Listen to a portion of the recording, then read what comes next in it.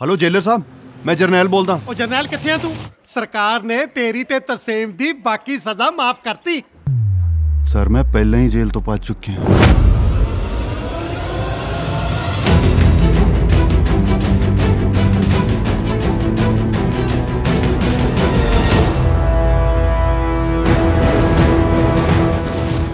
ਭੱਜਣ ਲਈ ਜੇਲ੍ਹ 'ਚ ਸਰੰਗ ਪੱਟੀ ਹੈ। ਹੂੰ, ਤਿੱਤਰ ਹੋ ਜਾਂਦੇ ਅੱਜ ਰਾਤ ਤੂੰ ਤਾਂ ਦੋ ਵਾਰੀ ਪਹਿਲਾਂ ਵੀ ਤਿੱਤਰ ਹੋਣ ਲੱਗਾ ਸੀ। ਕੀ ਬਣਿਆ?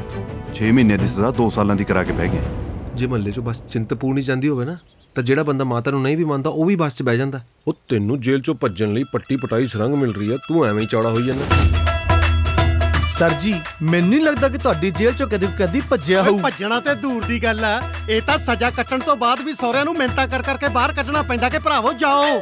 ਦੇਖ ਵੀਰ ਜੇ ਤੂੰ ਨਾ ਭੱਜਿਆ ਉਸ ਕੁੜੀ ਦਾ ਵਿਆਹ ਤਾਂ ਹੋ ਹੀ ਜਾਣਾ। ਜਦੋਂ ਮੈਨੂੰ ਕਿਸੇ ਨਾਲ ਪਿਆਰ ਹੋ ਜੂ ਮੈਂ ਉਹਦੇ ਨਾਲ ਵਿਆਹ ਕਰਾ ਲੂੰ ਤੇ ਮੇਰੇ ਨਾਲ ਕਰ ਲੋ ਪਿਆਰ ਮੈਂ ਕਿਹੜਾ ਫਟਿਆ ਦੁੱਧ ਵੇਚਦਾ? ਜੇ ਤੂੰ ਭੱਜਣ 'ਚ ਕਾਮਯਾਬ ਹੋ ਗਿਆ ਇਹ ਉਮੀਦ ਤਾਂ ਹੈ ਤੂੰ ਵਿਆਹ ਰੋਕ ਸਕੇ। ਭੱਜਣਾ ਕਦੋਂ ਹੈ? ਅੱਜ ਚੰਨ ਚੜ੍ਹਦੇ ਹੀ ਚੰਨ ਚੜ੍ਹ ਦਿਆਂਗੇ। ਕੂੜੀ ਦੰਦ ਸਾਂਭ ਹਾੜੀ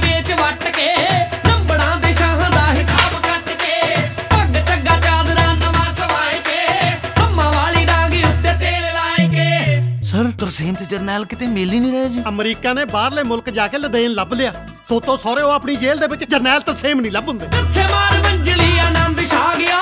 ਮਾਰਦਾ ਦਮਾਮੇ ਜੱਟ। ਜੇ ਤੇਰੀ ਭੈਣ ਹੀ ਨਹੀਂ ਰਹੀ ਤਾਂ ਤੇਰਾ ਜੀਜਾ ਐਡੀ ਸਰੰਗ ਪੱਟ ਕੇ ਕਿਹੜੀ ਮਾਂ ਨੂੰ ਮਿਲਣ ਗਿਆ? ਅੱਜ ਸ਼ਾਮੀ ਵਿਸਾਖੀ ਫੰਕਸ਼ਨ ਤੇ ਤੁਹਾਡੀ ਰਿਹਾਈ ਆ। ਉਸ ਤੋਂ ਪਹਿਲਾਂ ਜਿਵੇਂ ਮਰਜ਼ੀ ਤੁਸੀਂ ਜੇਲ੍ਹ ਦੇ ਅੰਦਰ ਹੋਣੇ ਚਾਹੀਦੇ ਹੋ। ਇੱਕ ਗੱਲ ਮੇਰੀ ਕੰਨ ਖੋਲ ਕੇ ਸੁਣ ਲਓ।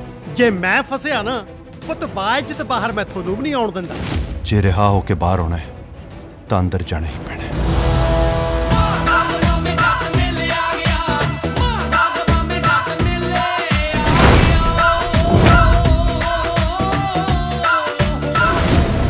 ਹੁਣ ਤਾਂ ਕੈਦੀ ਜੇਲ੍ਹ ਚੋਂ ਭੱਜਣ ਦੀਆਂ ਸਕੀਮਾਂ ਬਣਾਉਂਦੇ ਤਾਂ ਬਹੁਤ ਸੋਹਣੇ ਸੀ। ਇਹ ਪਹਿਲੇ ਕੈਦੀ ਹੋਣੇ ਆ ਜਿਹੜੇ ਜੇਲ੍ਹ 'ਚ ਮੁੜ ਘੁਸਣ ਦੀ ਸਕੀਮ ਬਣਾਉਣਗੇ।